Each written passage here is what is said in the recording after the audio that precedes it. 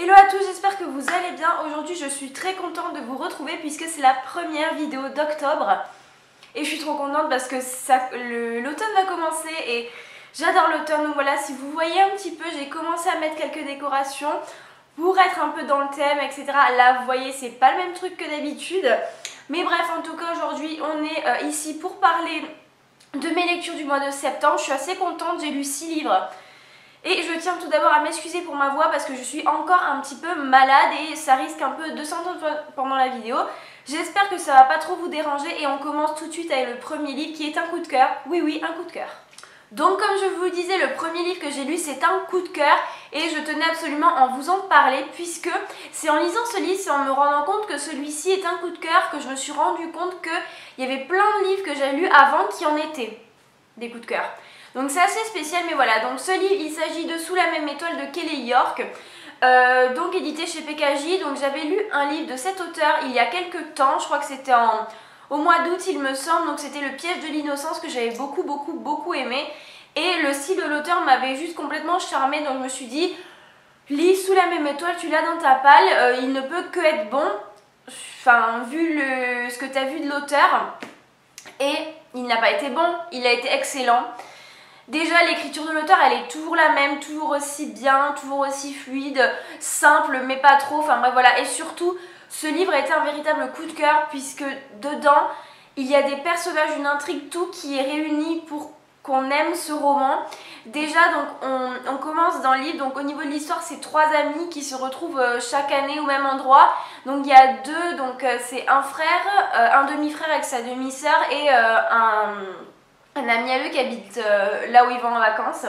Et là, ils vont se retrouver pendant 6 mois, je crois, et ils vont découvrir que leur ami qui, s'appelle Chains ne, euh, leur cache des trucs et que leur relation n'est plus comme avant puisque le garçon et la fille, donc le demi-frère et la demi-sœur, vont commencer à ressentir des sentiments pour lui. Et là, ça va commencer à se compliquer et tout ça. Donc déjà, déjà, l'intrigue est... Waouh on se laisse emporter par le livre et on veut absolument découvrir qu'est-ce qu'il y a à découvrir à la fin. On sait qu'il y a quelque chose qui cloche, on n'arrive pas à savoir quoi. Et au fur et à mesure, on se dit ouais, ouais, c'est ça, d'accord, d'accord. Et à la fin, dans les deux, trois derniers chapitres, l'auteur nous retourne l'histoire et vous restez complètement sur le cul. Quand vous avez lu la fin, ceux qui ont lu ce livre me comprendront, mais vous dites Qu'est-ce qui s'est passé? J'ai loupé un truc, qu'est-ce qui s'est passé? Qu'est-ce qui m'est arrivé? Et ça fait partie des livres qui m'ont complètement hanté, c'est-à-dire que genre je me suis couchée et genre j'étais en train de penser à ça, mais, mais putain, mais pourquoi, mais pourquoi, mais pourquoi? Et, euh, et, voilà, la fin, elle est tellement triste et, et limite si j'aurais pas envie qu'il y ait un tome 2 pour euh, savoir la suite dans quelques années, etc. Parce que la fin est tellement triste et vraiment j'ai pleuré, j'ai pleuré parce que pour moi c'était presque aussi triste que si j'étais l'un des personnages. Bref, voilà. Et euh, aussi, gros, gros, gros, gros, gros point positif. Le plus gros point positif, ce livre s'appelle tout simplement Chains. C'est un, un mec, en fait, vous pouvez pas ne pas tomber amoureuse de lui. Il y a certains livres comme After, etc. Vous pouvez aimer le personnage d'Ardine, vous pouvez le détester, mais celui-là, que quelqu'un me dise qu'il a détesté ou qu'il a pas aimé le personnage de Chains, je ne le croirais pas parce que on tombe amoureuse de lui comme euh, le demi-frère et la demi-sœur l'ont fait. Et on peut pas s'en empêcher, on adore ce gars, on a envie de l'aider, on a envie de tout faire pour lui, on a envie de se donner corps et âme. Mais on peut pas parce que c'est tout simplement un livre et vraiment j'aimerais vraiment rencontrer un personnage comme Chains dans la vraie vie parce qu'il est tout simplement magnifique, fabuleux, tout ce que vous voulez.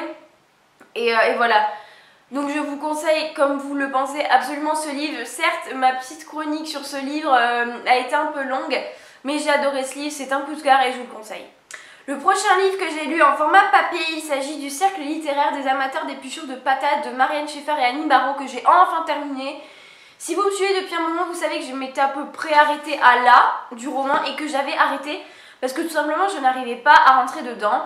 Et un jour je me suis dit, il est quand même temps que tu le finisses, donc je m'y suis remis et j'ai vraiment bien fait parce qu'une fois qu'on arrive à rentrer dans le truc, dans le roman, ça passe tout seul.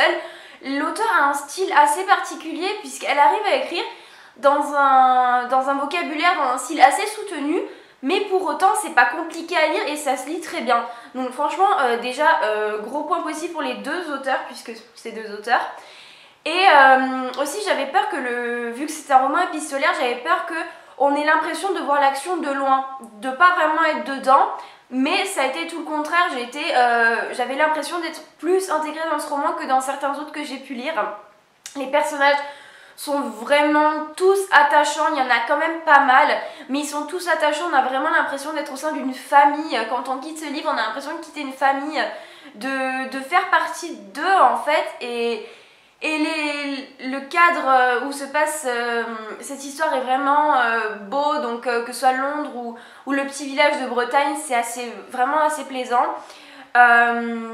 Au niveau de l'intrigue, euh, pareil, c'est assez spécial. Ce roman est un roman spécial à lui tout seul, j'ai l'impression, parce qu'il n'y a pas vraiment d'intrigue, dans le sens où on n'a pas vraiment de but. On se dit pas quand ça, ça sera arrivé, le roman pourra se terminer on se laisse porter par, euh, par ce qu'a nous dire les auteurs et, puis on verra bien ce qui se passe à la fin, même si bon, vraiment tout à la fin on commence à se douter quand même, euh, bon voilà, mais, euh, mais voilà, c'est comme par, comme par exemple le livre que je vous présentais avant, Sous, sous la même étoile, enfin en fait moi dans ma tête je me dis quand on saura ce qui s'est passé avec Chains, le roman se terminera, alors que là on n'a vraiment aucune idée ce qui fait son charme je trouve et je vous le conseille. Et j'ai mis une note de 4 étoiles sur 5. Les prochains livres que j'ai lus, je ne peux pas vous les présenter puisque c'est des livres que j'ai lus sur ma liseuse. Le premier c'est Mark Men, le tome 2, Jet. Je vous avais dit que j'avais apprécié le tome 1 mais pas plus que ça. Je trouvais que l'histoire d'amour entre Roule et, euh, et Shaw était un petit peu trop fake, un petit peu trop facile. Et je dois dire que l'auteur s'est clairement rattrapé avec le tome 2. Euh, j'ai adoré, adoré, adoré l'histoire d'amour entre Aiden et Jet. Euh, je trouvais qu'ils allaient super bien ensemble, que rien ne sonnait fake, que rien euh, n'était invraisemblable. Et que justement, peut-être c'était parce que c'était un peu plus dur, un peu plus trash, un peu plus compliqué entre eux que ça sonnait fake. Je sais, moi, ce genre de truc, ça me plaît. Plus l'histoire d'amour est compliquée, plus ça me plaît. Peut-être pour ça que j'adore After. Mais voilà, donc pour moi, c'était beaucoup plus dur et ça m'a plu tout simplement. J'ai adoré le personnage de Jed, j'ai vraiment compris pourquoi Aiden l'a choisi. Dans ma tête, j'avais clairement euh, la vision du personnage en fait je me disais ouais, ouais, je comprends. Mais surtout, il y a vraiment un personnage qui m'obsède depuis que j'ai lu ce tome, ce tome 2 et je sais qu'il va avoir un personnage sur lui, c'est le dernier tome, c'est le tome 6, c'est Asa, donc le frère d'Aiden. Depuis la première fois où on l'a vu dans le roman, je me dis punaise, il me tarde de lire le tome sur ce gars. Et encore plus que Jet, c'est celui-là qui m'a marqué pendant ce tome-là et j'ai vraiment hâte de lire son tome à lui.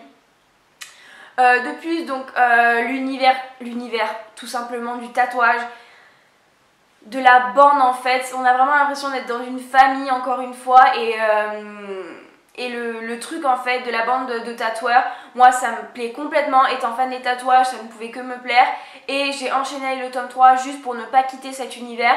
Mais malheureusement, le tome, le tome 3 et aussi un petit peu le tome 2 étaient un peu moins centrés sur, centré sur des gars euh, du salon de tatouage, donc ça m'a peut-être un petit peu plus euh, déplu, mais le prochain tome, il me semble que c'est sur un, membre du salon de tatouage et je pense que je vais juste tout simplement surkiffer.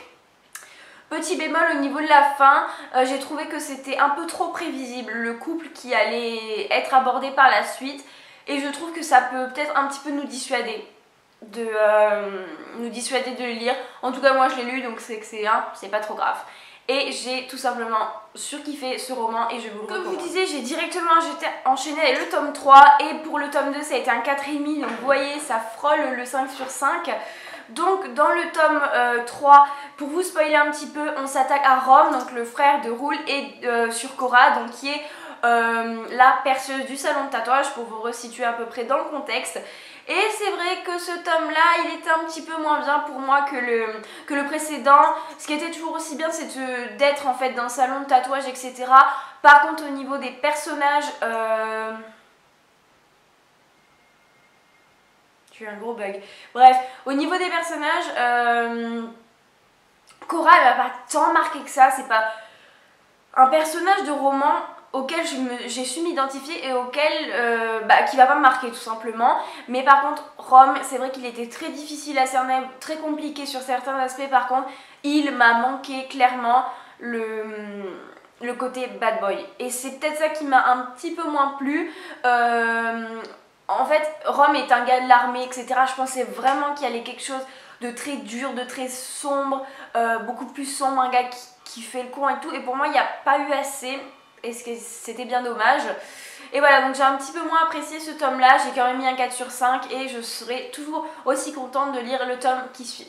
Au début du mois de septembre, j'ai lu le tome 2 de Ma raison de respirer de Rebecca Donovan. J'avais tellement aimé le tome 1 que je me suis dit allez lis le tome 2 mais je savais très bien que ce roman allait, allait juste me mettre la tête à l'envers tellement il allait me faire vivre des émotions et ça n'a pas manqué, l'auteur a su trouver de nouvelles intrigues, de nouveaux trucs qui fassent pas too much pour qu'on y croit. Et encore une fois, la fin du tome 2 est aussi atroce que la fin du tome 1, voire plus même. Et je dois dire que j'ai peut-être un petit peu plus aimé ce, roman parce qu'il y a l'intervention de Jonathan. Ça crée un triangle amoureux en fait entre Jonathan, Emma et, et le jeune euh, petit ami de Emma dont je me souviens plus le nom. Mais euh, et ce triangle amoureux m'a juste rendu dingue parce qu'on a autant envie qu'il se passe un truc avec l'un qu'avec l'autre et c'est juste fou. Et la fin, vraiment, je me suis dit, punaise, ça finit comme ça, mais j'aimerais tellement que ça, que ça revienne en fait dans le tome 3, cette intrigue et, vraiment ça m'a juste rendu dingue. Euh, l'auteur s'est vraiment joué avec les personnages, s'est vraiment joué avec... Euh, avec ce qu'elle nous fait ressentir euh, et on dirait que surtout au niveau de la fin elle n'a aucune pitié à, à pousser le dramatique à l'extrême. Et je pense que c'est ça qui fait, euh, qui fait le charme en fait euh, de cette saga. Mais, mais voilà l'auteur s'est vraiment poussé dramatique à l'extrême. Ce tome 2 est, est riche en émotions. Ça m'a fait vibrer euh, et tout. Et j'ai vraiment dû me retenir pour ne pas lire le tome 3 pour savoir vraiment ce qui se passait. Parce que je me dis non c'est pas possible. Cette fin c'est pas possible. Et pourtant si. J'ai mis une note de 4,5 à ce roman. J'ai juste adoré. Et je vous le conseille par contre Attention si vous avez... Si, 1, 2, 3. Si vous êtes un peu sensible, parce que c'est. Le dernier livre que j'ai lu, il s'agit de Calendar Girl, le tome euh, de juillet. Je ne vous ai pas fait une chronique sur mon blog, puisque j'ai l'impression de tout me répéter, et c'est vrai que c'est assez compliqué de faire une chronique euh, bien détaillée et tout sur juste 100 pages. Mais en tout cas, j'ai apprécié ce, euh, tome.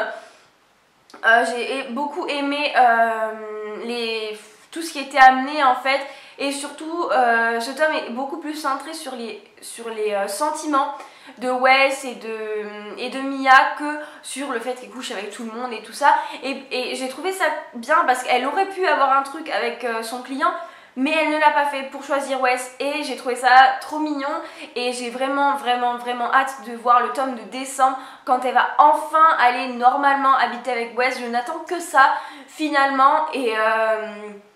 Mais c'est assez contradictoire ce que je vais dire, mais ça me manque en fait. Le fait qu'elle s'éclate avec ses clients, qu'elle couche un petit peu à droite à gauche, ça me manque.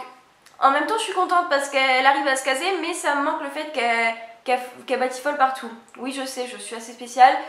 Mais voilà, euh, j'ai que dire, cette saga est une bonne saga, on va pas s'en cacher. Mais il y a encore euh, euh, août, septembre, octobre, novembre, décembre. Il y a quand même 6 tomes encore à lire et, et je sais pas en fait comment l'auteur va faire pour nous, refaire euh, des histoires mieux parce que j'ai l'impression que petit à petit les intrigues se diminuent et se concentrent un petit peu plus au niveau des sentiments et de Wes donc euh, je ne sais pas, à voir et on verra bien. Voilà tout le monde, j'espère que cette vidéo vous aura plu, n'hésitez pas à me dire dans les commentaires quels sont vous les livres que vous avez lus en septembre, si vous m'en conseillez ou pas.